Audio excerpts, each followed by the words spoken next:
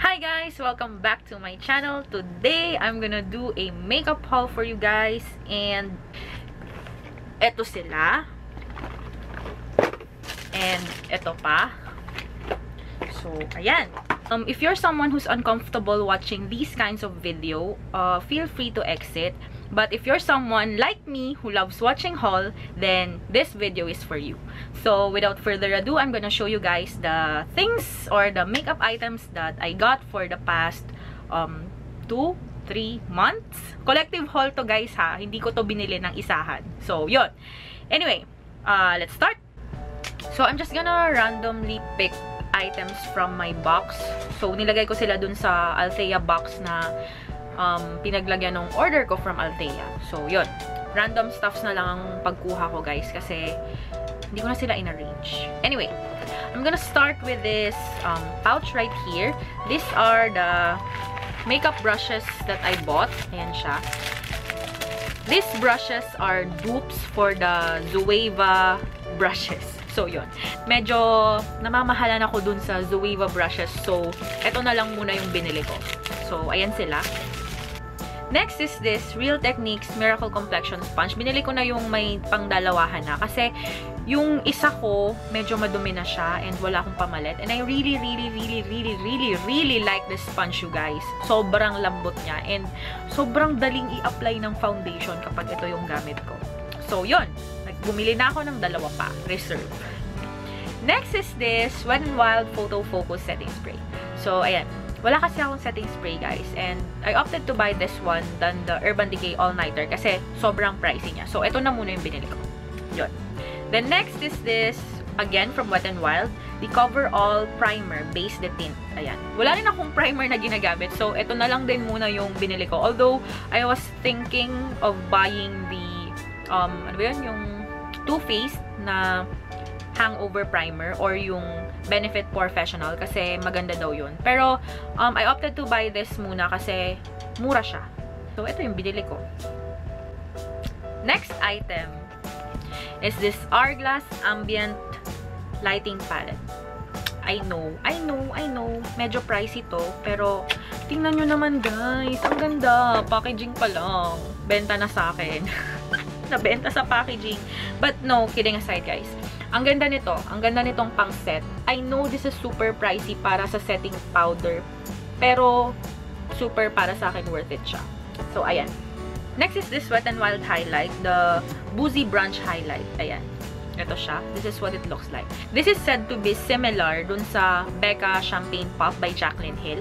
Um, nakakita kasi ako ng swatch nito side by side with the Champagne Pop. I'm not really sure kasi I don't own the um, Champagne Pop. Pero, nung nakita ko kasi yung swatch nito, sobrang similar niya. So, yun. And this is way, way, way cheaper than the Champagne Pop. So, ito yung binili ko. Next is a foundation. This is the Revlon Color Stay Makeup Fondant The combination to oily one. I got the shade 250 Fresh Beige. Ayan. I've heard a lot of good reviews about this foundation. So, mm, I got one myself. If you watch or if you know Right Rice, um, Raisa of Right Rice. Ito yung Ride or Die foundation niya. So, yun. Next is another foundation.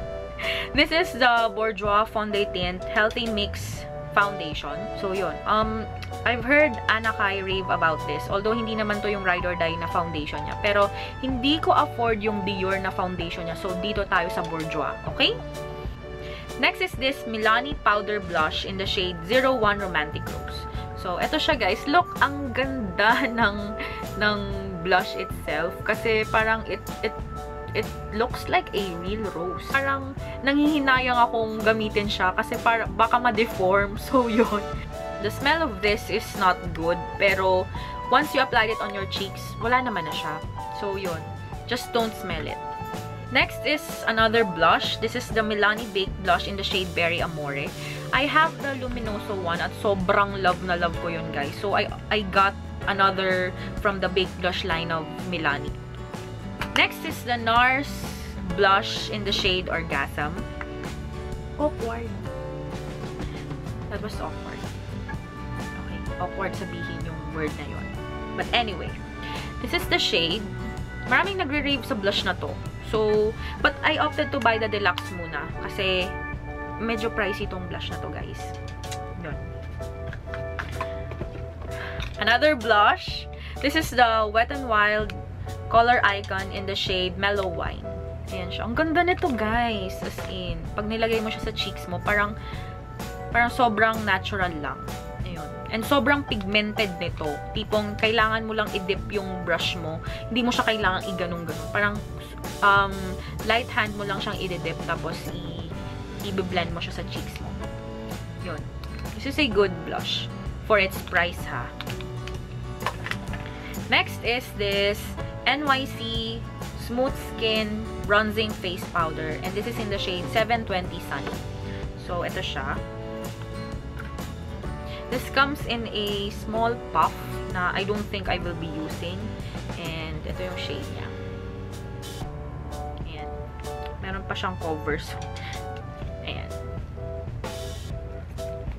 Guys, I'm not gonna swatch kasi it will take too much time. So, ayoko, nang, ayoko naman na sobrang pahabain pa tong video na to. And marami-rami pang products na nandito. So, yun. Next is an eyeshadow palette. This is the Urban Decay eyeshadow palette by Gwen Stefani. Ayan siya. Look how pretty the packaging is. See? Kondo nyo guys. Look. And these are the shades. Ayan. Mix of um, shimmer and matte. Neutral colors with pops of blue, yellow, pink, and you know. Next is this Shuemura eyelash curler. So, ayan. And then, itong Wet n Wild Contour Brush. This is actually a freebie from one of the online shops where I buy my makeup. Anyway, I'm just gonna leave all the links of those online shops where I buy my makeup para just for you guys to check them out kung may magustuhan kayo sa shop nila. So, tapos na tayo dito sa isang box. Let's go ahead and proceed to this one. Ayan. Next are these Amore Matte Lip Creams. I got five shades, you guys. Not gonna swatch each of this kasi I'm gonna do a separate lip swatching video and review about these Milani Amore Matte Lip Creams. So, yon. I got five shades. Um, 11 Precious, 12 Love, 14 Devotion, 19 Covette, and 25 Allure. So, ayan. Ito sila. So, watch out for that video, guys. Okay? Next is this Colourpop Ultra Matte Lip in the Foxy set. Ito yung my Beeper Clueless Tool More more better and clipper. Again, I'm not gonna swatch this guys kasi I'm gonna do a separate lip swatching videos of these Colourpop lip creams. I also got the mini lip glosses nga pala guys. Again, I'm I'm just gonna I got four. I got four shades. Ayan. Again, I'm just gonna do a lip swatching videos dito sa mga Colourpop mini lipsticks. Mini liquid lipsticks. Ayan.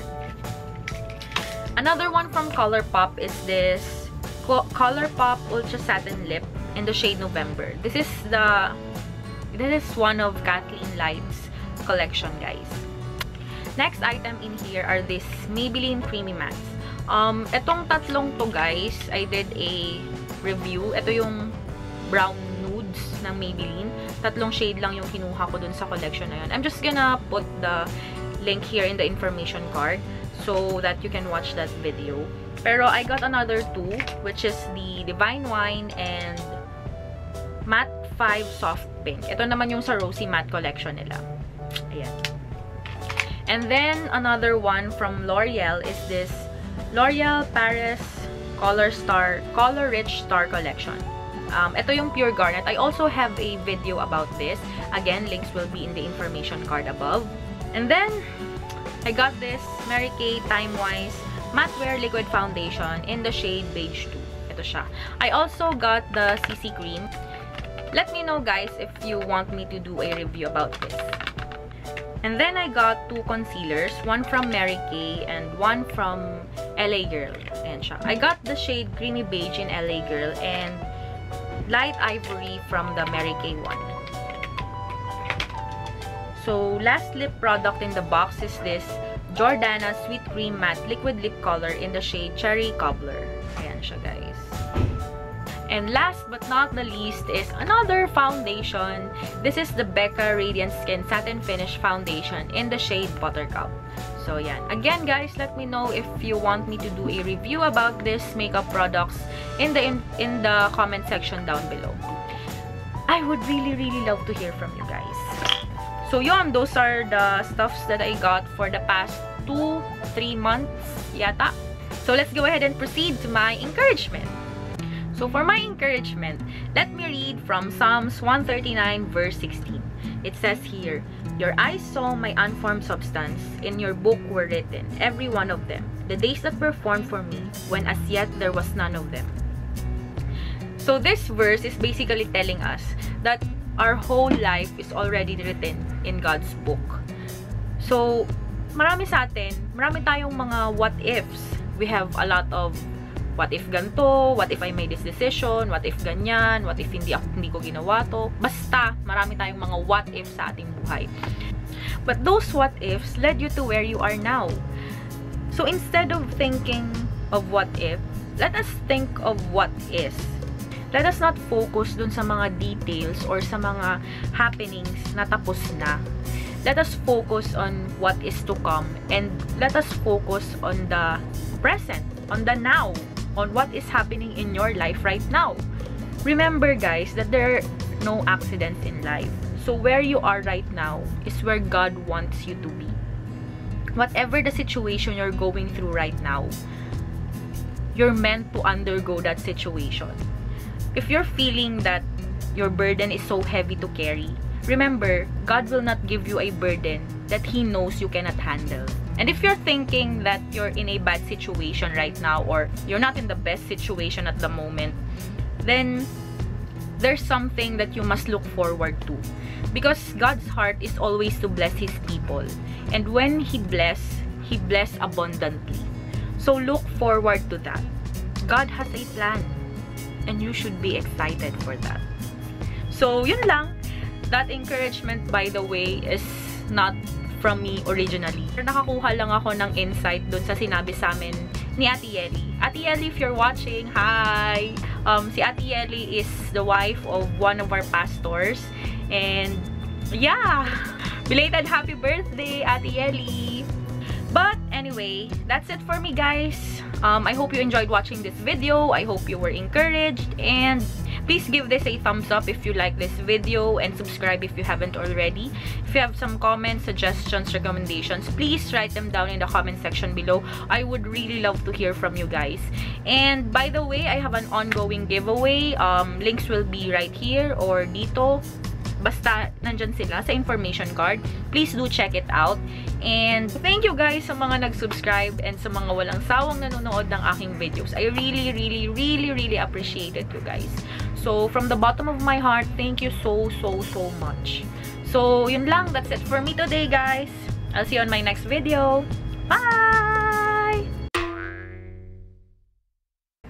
Next is this Milani Powder Blur Yes! Hindi ko na alam ang sasabihin ko. Aray. Alay na ako. Aray ko.